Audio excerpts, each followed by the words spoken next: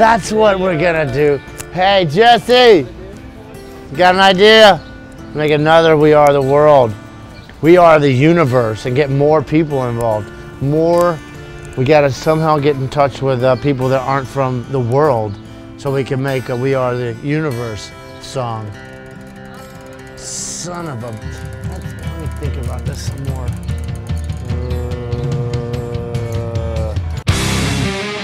We have a new record out. It's called Emperor of Sand. did we just do a record? The album came out on March 31st, 2017, a week after my 46th birthday, which is cool. When we were thinking of the concept of the album, you know, making it like, you know, metaphors for cancer and time, and, you know, we just kind of had this, even before the cancer thing, it was like, Brann had a, a like an idea for a vast desert kind of scenario. And I think when Sultan's Curse was like one of the first songs that came together, he was like, this just reminds me of like, you know, Lawrence of Arabia, like some dudes like riding horses in the desert. And then we started doing the whole, you know, if cancer could manifest itself into like a creature, what would that creature look like? And that's what we told the artist. I'm, I'm pretty sure that it was Indiana Jones induced, but also it's like a cottonmouth like thing. We want a dry. We just wanted a really dry looking album cover, like Gandhi. We were gonna put Gandhi's flip flop on the album cover, but instead we just put that old gnarled up, red bearded looking dude. We had the desert, and then the whole story of like, you're handed a death sentence, uh, you only have this much time to live, you're wandering this, this desert, which is, you know, life and time, sand falling through the hourglass is, you know, your time just wasting away, and this guy's traveling through the desert looking for, you know, water and food, and uh, the sun represents radiation and, you know, chemotherapy, and it's just turning into an adventure of our own. Where we recorded it is in.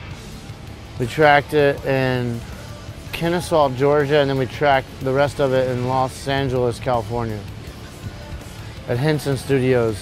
And then in Atlanta was at this place called The Quarry.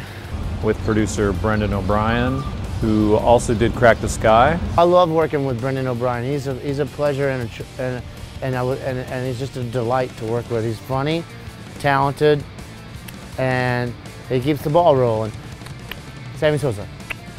In you know, we knew it was going to be a, an epic record, so we needed an epic producer. Well, the writing process, that kind of process right there is highly coveted and and uh, and, uh, and, and and and seriously, I don't know if you could.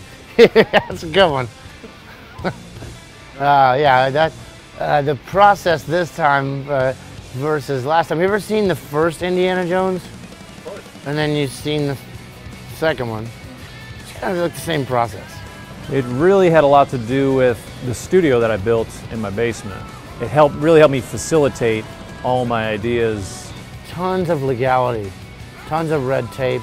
You know, I'd just grab a guitar and, and go down the basement when I had an idea, and I would just record a riff. And as much as we travel and tour, I'm always playing guitar and trying to, you know, capture riffs and ideas. And after I built the studio last year, I just, uh, I mean, I had so much stuff. I had like almost the entire album's worth of material. Just like, hey, here, here's the record. But uh, I, I'm not really like at liberty to say or talk about how any of that stuff went down. Really, You know, Brann lives around the corner, and he came over every day for about six months. And you know, in between other life-changing things that were going on, where my mom got really sick with cancer, and uh, Troy's wife was very sick, and Brann's mom was very sick as well. So, in between, you know, hospital visits and, and traveling, we Brann and I really dug in deep and just uh, explored all these riffs that I had and put most of it together ourselves. I'm not aware or at liberty to talk about any of that stuff. I had riffs like the song Sultan's Curse, the opening song. Like I had almost that entire song uh, worked up for years, even before Once More Around the Sun. Writing process is pretty much always the same. You know, we, we all we all write a bunch of riffs and then we get together. We sift through them like archaeologists looking for dinosaur bones and, and you know if we find one we're like cool throw it in the bag with the other bones and then Next thing you know, you got a bag of a bag of pacarayo. Sultan's Curse was like four or five riffs. It just wasn't completely ready yet. It was like, you know, pie you stick in the oven. It was just kind of sitting on the back burner for years and years. And that's how a lot of songs come come about. You know, they're old riffs or old songs that we just kind of push to the side for maybe a better song or something that was more immediate.